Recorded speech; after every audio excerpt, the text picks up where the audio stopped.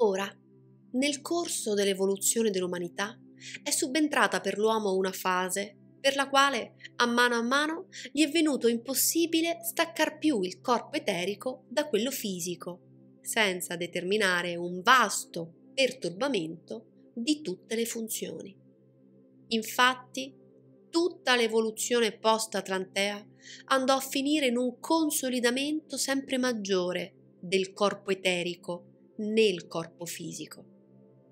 Perciò fu necessario adottare altri metodi per i quali il corpo astrale, anche senza la separazione del corpo eterico da quello fisico, purché sufficientemente sviluppato nel corso della catarsi, nell'atto di rientrare da solo nel corpo eterico e nel fisico, nonostante l'impedimento di quest'ultimo, giungesse ad imprimere i propri organi nel corpo eterico.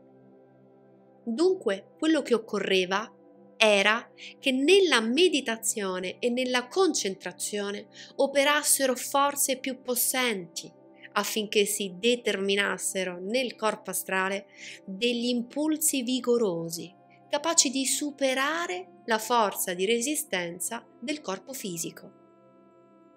Per prima venne allora l'iniziazione veramente specificamente cristiana, la quale richiedeva che l'uomo si assoggettasse ai procedimenti che sono stati nel video precedente descritti come i sette gradini.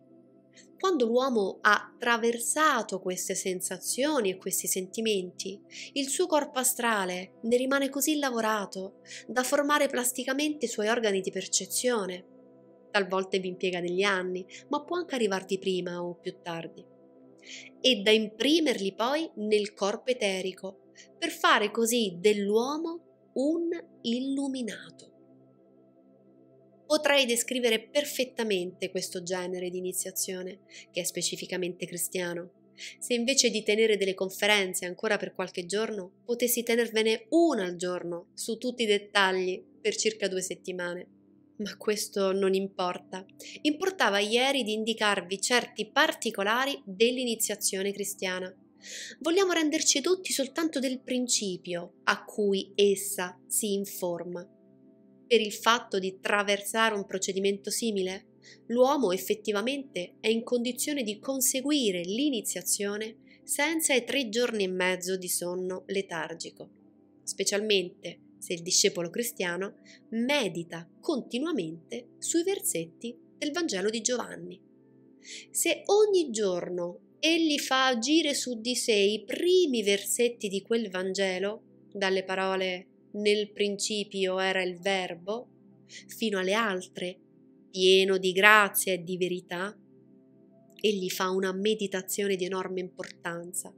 Questa forza i versetti l'hanno in sé perché questo Vangelo di Giovanni, nella sua unità, non esiste affatto per essere solamente letto e compreso con intelligenza, ma al contrario deve essere vissuto e sentito interiormente.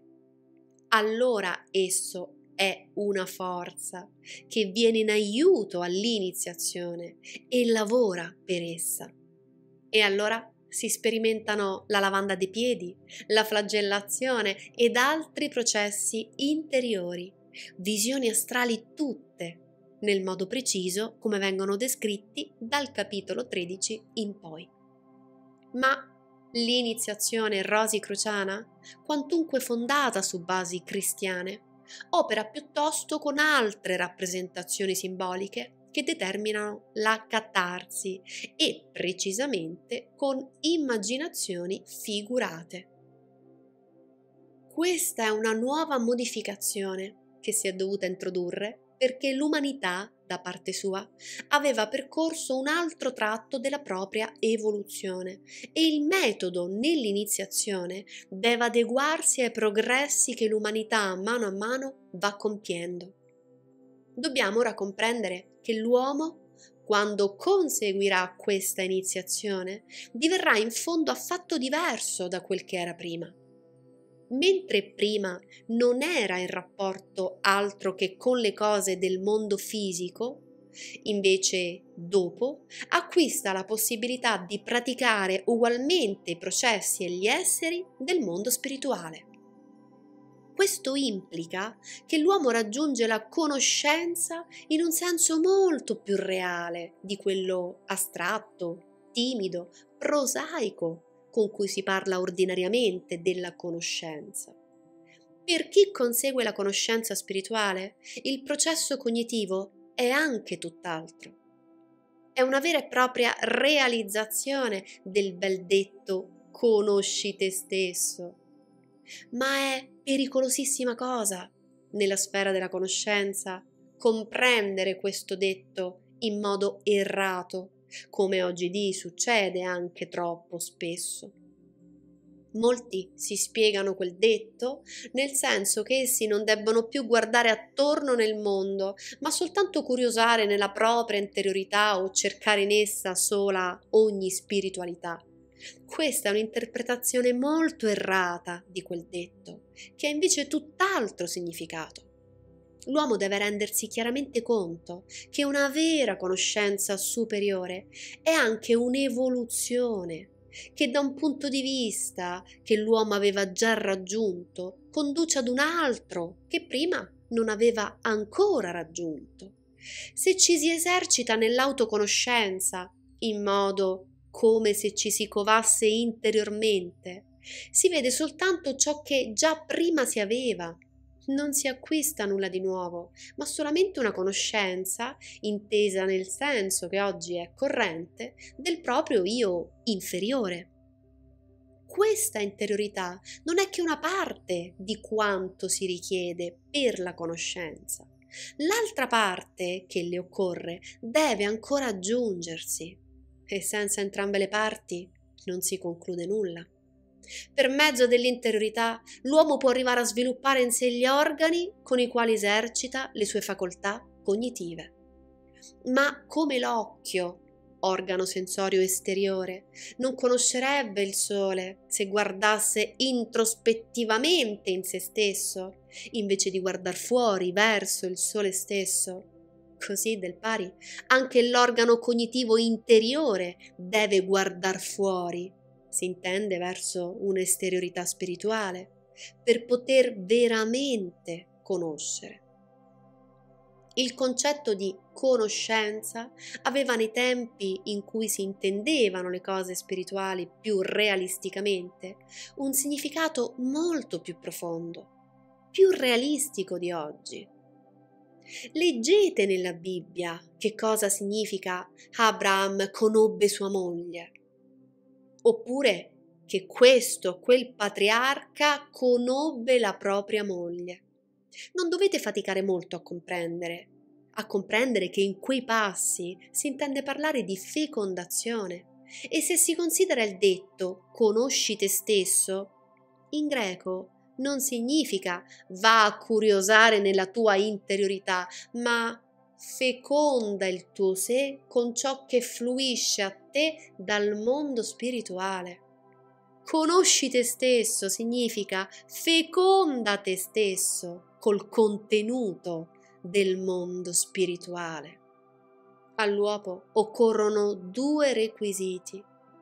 Che l'uomo si prepari con la catarsi e l'illuminazione e poi che apra la sua interiorità liberamente al mondo spirituale.